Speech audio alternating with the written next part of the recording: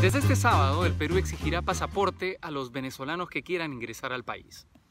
Una medida cuestionada que el ministro de Relaciones Exteriores Néstor Popolicio ha intentado explicar, diciendo que lo que se busca es una migración ordenada, es decir, tener un correcto control de quienes crucen la frontera. Se ha dicho que la cédula de identidad venezolana puede ser falsificada con facilidad y solo el pasaporte garantiza una verdadera identificación de los venezolanos migrantes. Por eso Popolicio ha dicho que se aceptarán toda clase de pasaportes, los vigentes pero también los vencidos.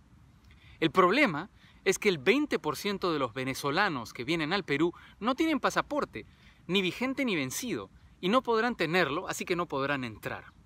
Como se viene informando, los pasaportes se han convertido en verdaderos objetos de lujo en Venezuela.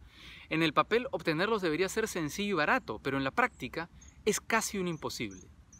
Esto por la ineficiencia que campea en migraciones de Venezuela, porque no hay materiales para fabricar los pasaportes y porque para obtenerlos hace falta invertir eh, hasta 5 mil dólares en sobornos de funcionarios, un dinero que obviamente quien viene por necesidad al Perú no tiene.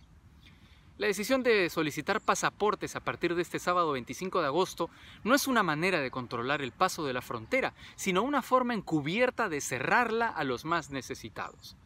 Esto demuestra que lamentablemente nuestro gobierno comienza a ser permeado por una forma específica de xenofobia, la aporofobia, el odio a las personas desfavorecidas, en este caso a los venezolanos más pobres, que a diferencia de sus conciudadanos con recursos, son objeto de rechazo.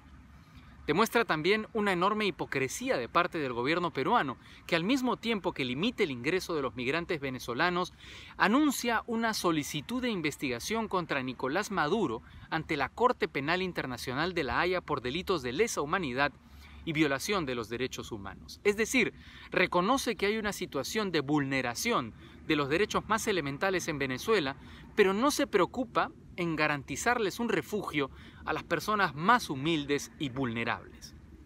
Es una pena que el gobierno haya cruzado la línea que separa al populismo de la falta de consideración por el prójimo y que en lugar de fijar un ejemplo de humanidad y coherencia, haga lo mismo que todos esos hipócritas que se han llenado la boca criticando la situación de la democracia venezolana, pero a la hora de la verdad le han dado la espalda a los venezolanos. Muchas gracias.